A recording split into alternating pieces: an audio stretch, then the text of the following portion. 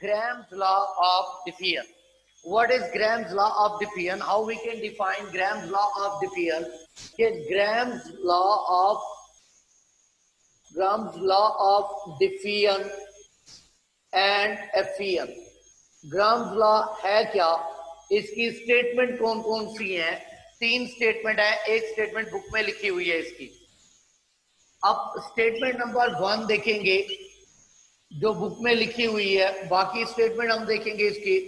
अब Graham's law of diffusion है क्या? We can define the Graham's law of diffusion what is Graham's law of diffusion Graham's law of diffusion की, यानी statement हम देखते हैं, अगर हमें मैथमेटिकल फॉर्म आती हो तो पहले हम इसकी मैथमेटिकल फॉर्म लिखते हैं। मैथमेटिकल फॉर्म है क्या? मैथमेटिकल फॉर्म देखा जाए तो rate of diffusion and of gases इससे आर से मुराद क्या होगा? Rate of diffusion and effusion of the gases rate of diffusion and effusion of the gases is inversely related with the inversely proportional to the square root of its density square root of its density और molecular mass at क्या हो जाएगा? Constant यानी क्या होगा? Temperature and pressure this is set to be Graham law of क्या हो जाएगा? डिफियन एंड एफियन अब Graham's law of diffusion and effusion क्या है? रेट ऑफ़ डिफियन और effusion of the gases is inverse related with the square root of its density density के square root या उसके मॉलिक्यूलर रूट मैथ के square root के क्या हो जाएगा? ये इनवर्स रिलेटेड है। तो रेट ऑफ़ डिफियन इसकी लॉ की स्टेटमेंट क्या बनेगी? रेट ऑफ़ डिफियन और effusion of gases diffusion or effusion of gases gases are inversely related with the inversely proportional to inversely proportional to square root of its density square roots of its density at constant क्या हो जाएगा temperature and pressure this is said to be Graham's law of diffusion Graham's law of diffusion कहेंगे यानी Graham's law of diffusion क्या of diffusion और effusion of the gases is inversely with the square root of its density के density के square root के या यहाँ पे m कैपिटल लिख सकते हैं मॉलिक्यूलर मास के क्या हो जाएगा? इनवर्स रिलेटेड होगा। अगर हम इस फॉर्म को आगे देखें तो देन क्या बनेगा? और rate of diffusion of diffusion of the gases is equal to किस चीज़ के बराबर आएगा? That is equal to K K is the rate constant, diffusion constant. That is यानी क्या होगा? K into क्या हो जाएगा? One ओवर क्या आ जाएगा? D square root of its density. So rate of diffusion and diffusion of the gases multiply with the square root of density. अब cross multiplication कर रहे हैं of diffusion and diffusion of the gases is multiply with the square root of its density is equal to क्या आ जाएगा K at constant क्या हो जाएगा temperature and pressure this is also called as Graham's law of diffusion यानी Graham's law of diffusion की दूसरी definition क्या होगी कि product of rate of diffusion और effusion of the gases to the square root of its density remain constant at constant temperature and the pressure this is also said to be Graham's law of diffusion Graham's law of diffusion की second definition देखिए तो क्या होगा rate of diffusion and effusion of the gases product of rate of diffusion or effusion of the gases when यानी क्या होगा multiply with the square root of it density remain constant at constant temperature and the pressure this is also said to be इसको क्या कहेंगे that is said to be Graham's law of diffusion किसे Graham's law of diffusion कहेंगे? This is said to be Graham's law of diffusion of a gases ये हमारे पास equation बनी। अब हम देख रहे हैं डिफियन एंड एफियन का रेट आफ्टर टू डिफरेंट अब देखिए, हम कहते हैं फ़र्ज़ करते हैं एक्सप्लेन कर रहे हैं इसको। एक्सप्लेनेशन दे रहे हैं। एक्सप्लेनेशन क्या है? Consider we have two gases कि हम ये कंसीडर करते हैं कि हमारे पास दो गैसेस क्या होंगी? मौजूद होंगी। एक गैस क्या होगी? A gas. और एक क्या होगी? B gas. या एक गैस क्या होगी? One gas and second is the two gas consider we have two gases in the cylinder अब दो गैसेस मौजूद थी। एक वन गैस और दूसरी क्या होगी? सेकंड गैस ये मौजूद थी। एक को गैस वन कह रहे हैं और एक को क्या कह रहे हैं? सेकंड अगर इसके रेट ऑफ़ डिफियन को देखिए तो क्या बनेगा? फ़र्स्ट गैस के लिहाज से तो क्या बनेगा? Rate of diffusion effusion of the gases for the first gas multiply by its density square root of density is equal to constant according to this equation then क्या होगा? सेकंड गैस के लिहाज से देखें rate of diffusion and diffusion of the gases for the second gas second gas के लिए क्या बनेगा? दैट इज़ इक्वल टू यानी क्या होगा?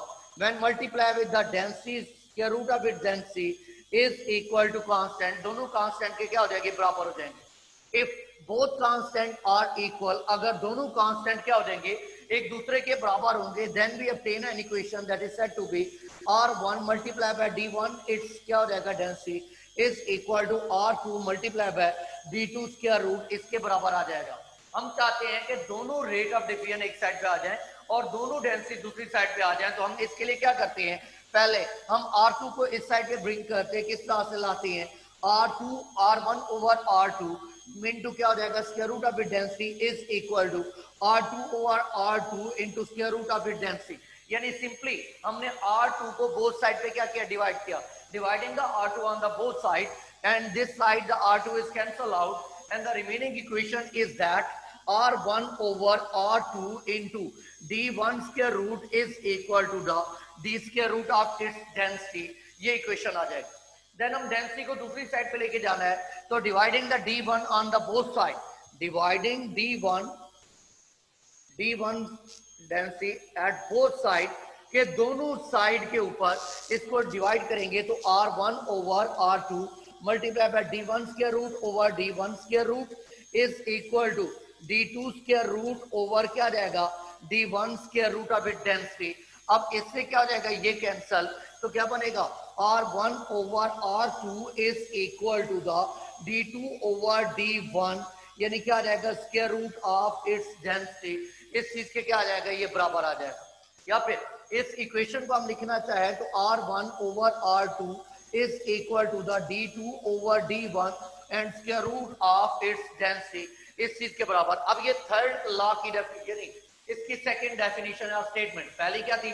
Rate of diffusion or effusion of the gases is inverse related with the square root of its density दूसरी क्या थी? यानी क्या था? Rate of diffusion and effusion product of rate of diffusion and effusion of the gases to the square root of density remain constant at constant temperature and the pressure. This is also said to be Graham's law of diffusion. किसे क्या कहेंगे?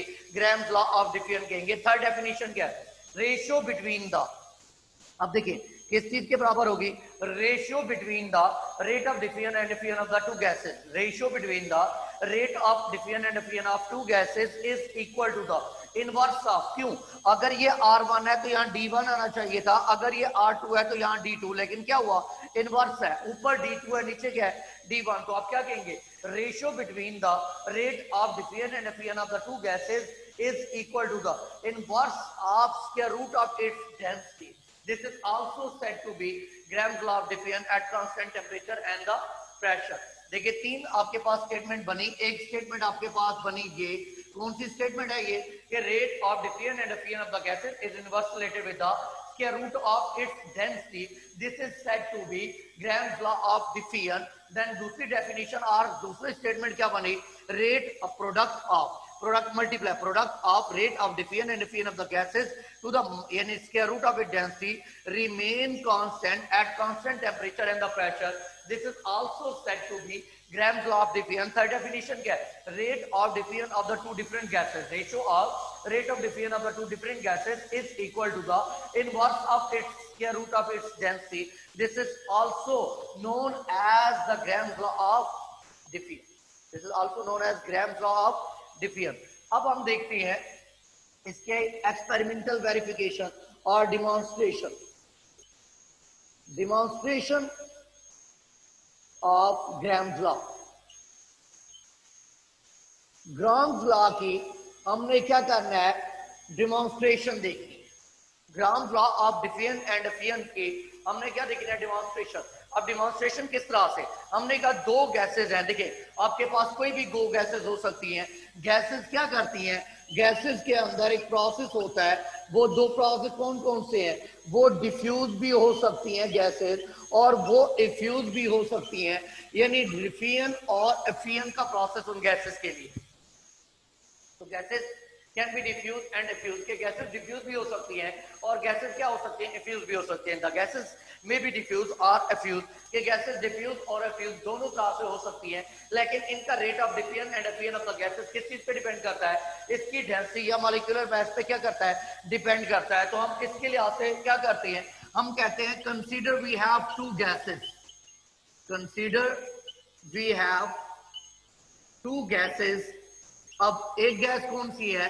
The one gas is ammonia gas and the second one is H in the form of bubble और in the form of the gases consider we have the two gases one is क्या हो जाएगा? Ammonia gas and the second one is H gas and both gases are अब पहले क्या करते हैं? समझेंगे इसको। पहले हम क्या लेते हैं? एक ग्लास क्या लेते हैं? क्यूब लेते हैं। इस ग्लास क्यूब के क्या करेंगे? दोनों साइड्स को, यानी क्या करते हैं? यानी दोनों साइड को कवर करते हैं किस चीज़ के साथ? सोप्ड कॉटन के साथ। यानी सोप कॉटन के फॉर्म में अब इसके अंदर क्या करते हैं? एक साइड पे अमोनिया गैस क्या करते हैं? अप्लाई करते हैं और दूसरी साइड पे सोप कॉटन और वेट कॉटन के अंदर एच क्या होगा? मौजूद होगा। तो हमने कहा कि consider we have a glass tube के, हमारे पास एक ग्लास ट्यूब क्या होगी? मौजूद होगी। At one end glass tube के अगर दोनों साइड को देखा जाए दैट इज़ कवर्ड विद यानी क्या होगा? Soap cotton at one end the ammonia gas is present and the second one end at the HCl gas is present ammonia gas can be travel the distance ammonia gas जब rate of diffusion देखा गया तो ammonia gas can be traveled up to क्या था कि 59.5 centimeter of the tube this tube are totally 100 centimeter long कि ये tube 100 centimetre long थी। जब रेट ऑफ़ डिफ्यूजन देखी गया तो अमोनिया गैस क्या हुई? दैट मे बी यानी travel up to 59.5 centimetre in a tube and the HCl gas is travel कि बाकी जो HCl गैस की ट्रेवलिंग अगर देखी जाए HCl gas can be travel up to 40.5 centimetre के HCl 40.5 सेंटीमीटर और अमोनिया गैस क्या हुई? 59.5 सेंटीमीटर क्या हुई? ट्रेवल हुई इन द क्या हो जाएगा? ट्यूब अब वो जब व्हेन दीज गैसेस यानी अमोनिया गैस और get react with the HCl कि जब अमोनिया ने एचसीएल के साथ क्या किया? आके इस पॉइंट पर रिएक्ट किया। तो वाइट क्या हुए? फ्यूम प्रोड्यूस हुए। ये वाइट फ्यूम किस चीज़ के थे? The white fume are actually ammonium chloride के अमोनियम क्लोराइड के थे। अब देखिए NH3 एक एच ये क्या बनेगा? NH4 और HCl ये तो क्या बनेगा? NH4 तो वे ammonia and HCl both are react together they form of ammonium chloride ammonium chloride in the form of fume क्या हुआ? प्रोड्यूस हुआ। Ammonium chloride in the form of fume क्या हुआ? प्रोड्यूस हुआ। This ammonium chloride in the form of fume produce हुआ। White क्या हो जाएगा? कि ammonium chloride in the form of fume जो होगा that is present in the form of white कि ये व्हाइट फॉर्म के अंदर क्या होगा? मौजूद होगा। That is present in the form of white white form के अंदर क्या होंगे? मौजूद होंगे। अब अगर इनका रेट ऑफ़ डिफ्यूजन देखा जाए, ये क्या होगा? 59.5 सेंटीमीटर और अगर इसका रेट ऑफ़ एक्सीएल का देखा जाए 40.5 सेंटीमीटर अब हम कहते हैं the ratio between the rate of diffusion of ammonia to the rate of diffusion of HCl is equal to the density और मॉलिक्यूलर मास ऑफ़ HCl के मॉलिक्यूलर मास या density of HCl to the molecular mass और density of क्या था? That is ये HCl होगा और ये क्या होगा? दैट इज़ द अमोनिया अगर हम इसकी वैल्यू पुट करें तो क्या बनेगा? देखिए rate of diffusion of ammonia is 59 point क्या होगा? 5 59.5 सेंटीमीटर डिवाइडेड बाय क्या हो जाएगा? रेट ऑफ़ एचसीएल डिफियन क्या था? 40.5 centimetre is equal to the यानी molecular mass of HCl H का एक का होता है? वन सीएल का होता है 35.5 टोटल क्या बनेगा? 36 एंड यानी क्या बनेगा? हाफ़ डिवाइडेड बाय क्या बनेगा? एक नाइट्रोजन का 14 तीन नाइट्रोजन का तीन तो क्या बनेगा? 17 इस पे क्या करेंगे? डिवाइड करेंगे। अब इसको, इस पे डिवाइड करें तो आपके पास आई थिंक आंसर दिया होगा बुक के अंदर 1.6 सेंटीमीटर या 1.6 दिया होगा। 1.46 इज़ इक्वल टू किस चीज़ के बराबर आया? अगर हम 36.5 को 17 पे डिवाइड करें और उसका 200 रूट लें तो क्या बनेगा? 1.46 के क्या आ जाएगा? बराबर होगा। फिर यहाँ पे एक छोटी सी कंफ्यूजन है। हमने अमोनिया क्यों ऊपर लिखा? एच क्यों नहीं लिखा? चाहे आप अमोनिया को ऊपर लिखे या एच को ऊपर लिखे आंसर दोनों का सेम आएगा। अब कैसे? देखिए, हम कहते हैं rate of diffusion of H या फिर एच का diffusion to the rate of diffusion of ammonia is equal to अब क्या जाएगा? मॉलिक्यूलर मैस ऑफ़ अमोनिया ऊपर आएगा। मॉलिकुलर मैस ऑफ़ अमोनिया, जिसका रेट ऊपर होगा, उसका मॉलिकुलर मैस नीचे होगा। Divided by molecular mass of L इस पे क्या करेंगे डिवाइड अब क्या बनेगा? 40.5 centimetre divided by 59.5 centimetre is equal to molecular mass of ammonia 17 divided by 36.5 इसकी अंडर रूट लेंगे। अब इसको इस पे डिवाइड करें तो आंसर देखिए क्या आता है? 0.68 0.68 is equal to 17 divided by 36.5 then उसके अंडर रूट लेंगे। 0.68 तो दोनों का देखे, आंसर क्या आ रहा है? कांस्टेंट आ रहा है। रेशियो बिटवीन, हमने ये कहा ratio between the diffusion and diffusion of two gases is, यानी क्या होगा, inverse of square root of its density. तो देन क्या आ जाएगा? ये आपके पास इक्वेशन आ जाएगी। अच्छा अब सुनेंगे। इस इक्वेशन को थोड़ा सा मैं चेंज कर रहा हूँ। देखिएगा, इस इक्वेशन को थोड़ा सा मैं चेंज कर रहा हूँ समझाने के लिए। आप लोग देखेंगे कि किस तरह से इसको चेंज किया जा रहा है। ये आप लोगों ने क्या करना है, देखना है। पहले अब मैं अगर इसी इक्वेशन को लिखूं, इधर देखिए, इसी इक्वेशन को तो मैं क्या लिखूँगा? Rate of diffusion rate of diffusion of the gases is inversely with the molecular mass क्या root of its molecular mass at constant temperature and pressure कि कांस्टेंट टेम्परेचर और प्रेशर मैं ये इक्वेशन निकालने जा रहा हूँ। अब किस चीज़ के बराबर आएगा? Rate of diffusion of the gases is equal to K over M का अंडर रूट क्या बनेगा? Rate of diffusion of the gases and molecular dense square root of its molecular mass is equal to K हमारे पास ये equation आ गई अगर दो different gases थी, जैसे ये हमने लिखा। इफ़ टू डिफरेंट गैसेस तो क्या बनेगी ये इक्वेशन लिखवाएँगे शाबाश। क्या बनेगी? आर इंटू क्या बनेगा? M one square root is equal to K और दूसरी क्या बनेगी? आर टू इंटू यानी क्या जाएगा?